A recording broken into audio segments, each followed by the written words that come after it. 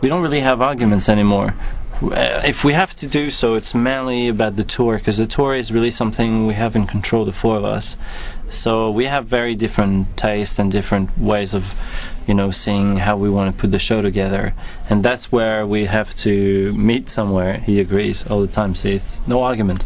Uh, so whether it's a song, right now we're talking about putting maybe some new surprises into the show, and you know the way that the the set is going to look like. These little, those little things can create a little bit of arguments, but I have to say, it's been a long time since we haven't had one. Maybe we st- should start again to have one now. Yeah, yeah, we should. No, later after that. All right, let, let's Yeah, wait. yeah, yeah.